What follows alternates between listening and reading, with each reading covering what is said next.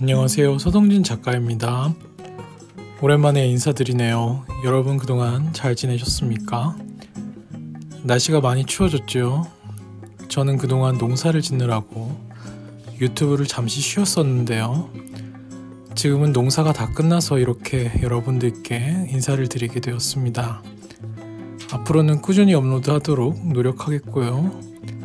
차근차근 작업을 해서 신작도 올리고 여러분들과 공감할 수 있는 콘텐츠를 만들어 이야기하는 시간을 가지도록 하겠습니다. 긴 시간 기다려주신 모든 구독자님들께 다시 한번 진심으로 감사드립니다.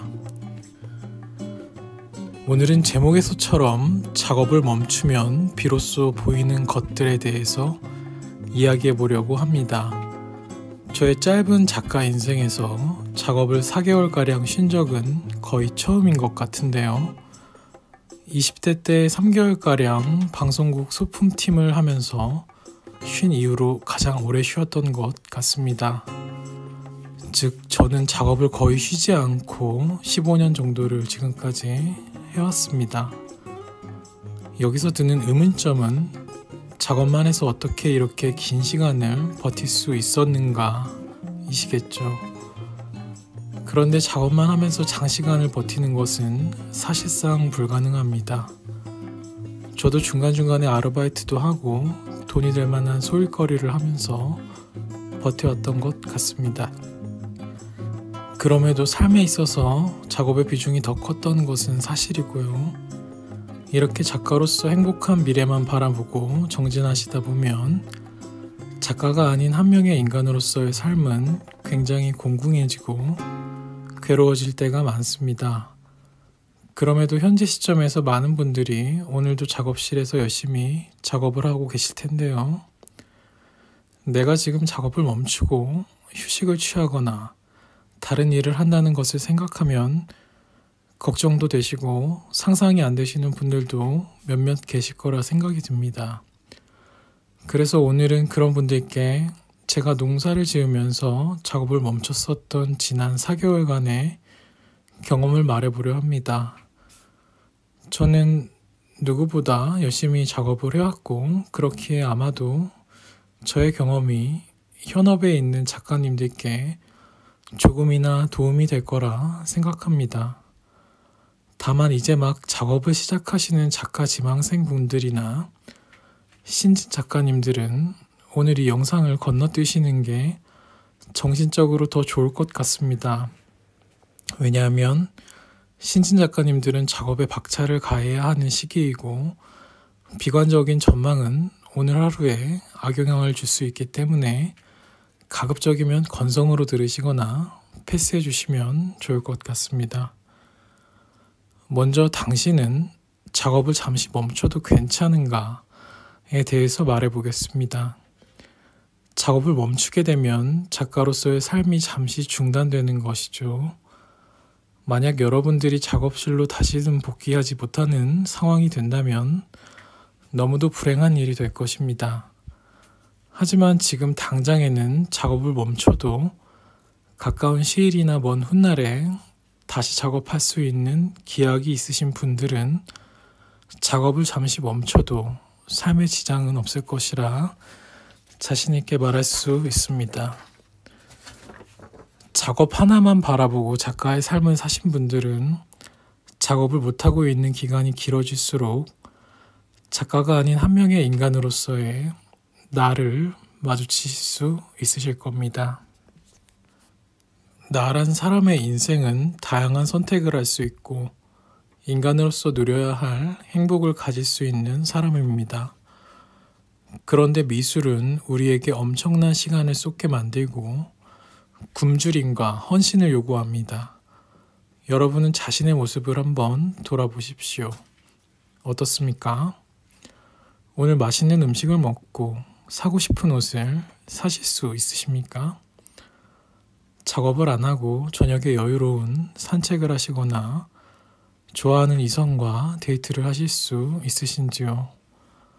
대다수는 아니겠지만 작업에 열중하시는 분들께서는 이러한 최소한의 여유도 없는 분들이 많으실 것 같습니다.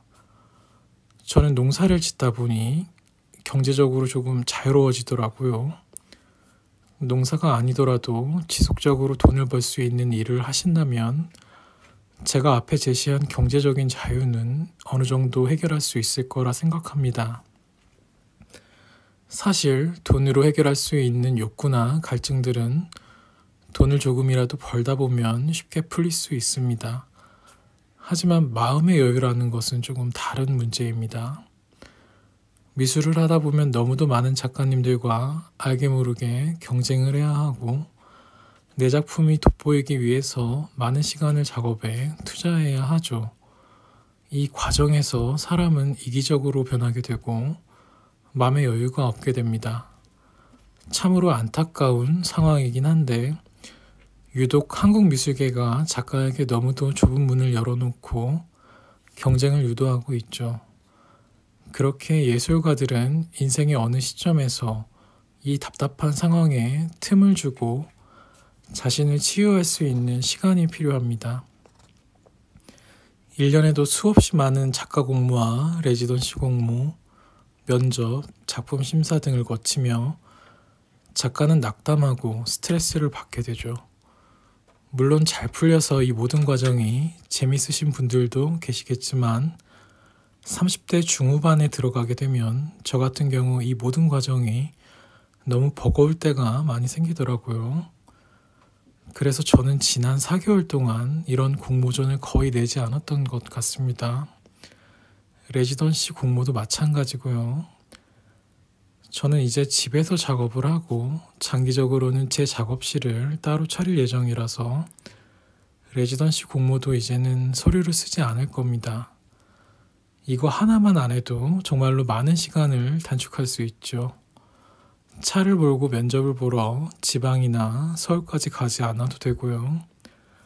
전시 계획서와 지긋지긋한 자기소개서를 안 써도 됩니다. 작업을 멈춘 지 한 달이 지난 시점이 되니까 저는 예술을 바라보는 시점이 일반인들과 조금은 흡사해지는 것을 느꼈습니다. 예술가들의 고군분투가 신기하기도 하고 안쓰럽게 느껴질 때도 있었습니다. 물론 좋은 공모에 당선이 된 작가님들을 보면 부러운 감정이 들기도 하는데요. 현업에서 활동할 때보다는 그 부러움의 정도가 크지는 않더라고요. 다음으로 작업을 멈추게 되면 나를 돌아보게 됩니다. 여기서 나란 인간으로서의 나, 저 같은 경우 한국 남성으로서의 저, 38살에 나를 마주하게 되죠. 저 같은 경우 이제는 40대를 준비해야겠다는 생각이 들더라고요. 안정적인 일거리를 확보해야겠고, 돈도 더 저축해 놓아야겠다라는 생각이 들었죠. 또한 기회가 있다면 이성을 만나고 싶다는 생각과 남성으로서 매력을 많이 갖추어야겠다라는 생각도 들었습니다. 제가 지금 말한 것은 조금은 1차원적인 것들이죠. 다음으로 작업을 두 달 정도 멈춘 시점에서 드는 생각은 위의 생각보다는 조금은 고차원적인 갈증을 느끼게 되더라고요. 나는 그동안 왜 작가로서의 미래만을 꿈꾸고 지냈었는가에 대한 본질적인 물음을 가지게 됩니다. 저 같은 경우 농산물을 생산하고 수확해서 지역 농협에 공급하는 일을 했습니다. 농사란 것은 나의 밥벌이가 되기도 하지만 모두에게 필요한 다중을 위한 가치가 있는 일이잖아요. 그에 반해 미술은 사치품을 생산하고 그 사치품을 살 수 있는 소수의 엘리트를 위해 작가라는 그럴싸한 타이틀을 가지고 작업하는 사람이 될 수도 있습니다. 이렇게 생각하니 그동안 제가 노력했던 미술의 가치가 일반적인 일에 비해서 크게 가치를 높게 주기가 어렵더군요. 물론 미술을 통해서 일반 대중에게 기쁨과 행복을 줄 수도 있습니다. 하지만 예술가로 생활을 하려면 결국에는 작품을 팔아야 하는 것이기에 이 사치품을 만드는 작업에 엄청난 의미를 부여하는 것은 그렇게 바람직한 모습은 아닌 것 같더라고요.